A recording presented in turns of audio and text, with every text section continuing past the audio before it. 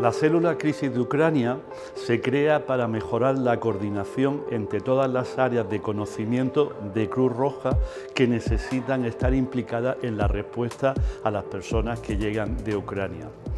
Lo que queremos es estar en un mismo espacio para poder tener información actualizada de todas las áreas, para poder compartir cualquier incidencia que se produzca y ser lo más eficaces posible en la respuesta inmediata a las necesidades que se produzcan.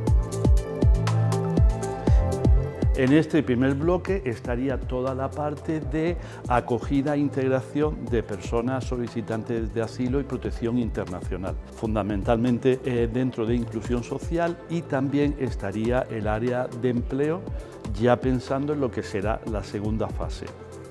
En esta isla estamos trabajando el equipo de inclusión social y de empleo, eh, un poco con el objetivo durante las últimas semanas, sobre todo de incrementar la capacidad de acogida que tiene Cruz Roja para ofrecer recursos de alojamiento a las personas procedentes de la crisis de Ucrania que no cuentan con redes de apoyo en, España.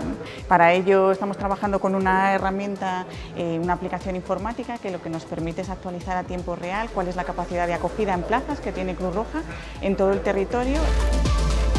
En este segundo pool tendríamos todos los servicios transversales, fundamentalmente registro y explotación de todos los datos para tener un control exhaustivo de todo lo que se está haciendo y poder compartirlo en todas las células. Para nosotros es, es clave poder disponer desde el primer momento y diariamente de toda la información de las respuestas que estamos dando desde todos los ámbitos territoriales.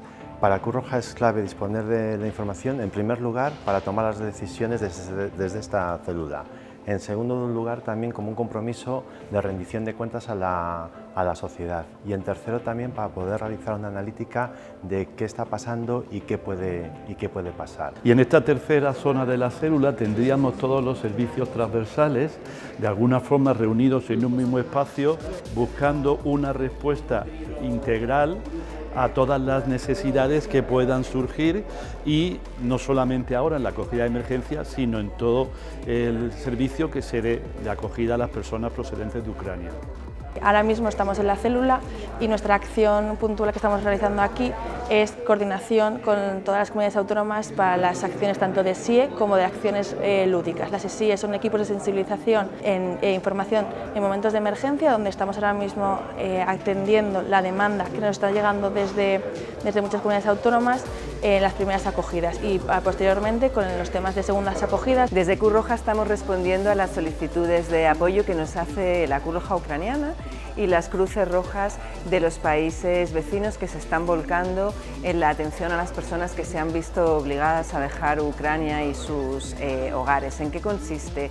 Este apoyo. Por un lado, en el envío de artículos de socorros estandarizados que tenemos preposicionados en nuestros almacenes. Por otro lado, el despliegue de recursos humanos especializados en, logística, en distribuciones, en, protección e inclusión, en, voluntariado. Las funciones que se desarrollan en la célula en materia de voluntariado y desarrollo de la red territorial es la coordinación territorial del conjunto de personas que están interviniendo en esta operación. Desde aquí se gestionan las más de 7.000 personas voluntarias que están adscritas al programa de protección internacional y, a la atención a las personas que llegan de Ucrania. Desde la célula hemos desarrollado un sistema para, monitorear el voluntariado en tiempo real para poder eh, disponer a voluntarios y movilizarlos de, de un lugar a otro en el sentido en el que fuesen necesarios.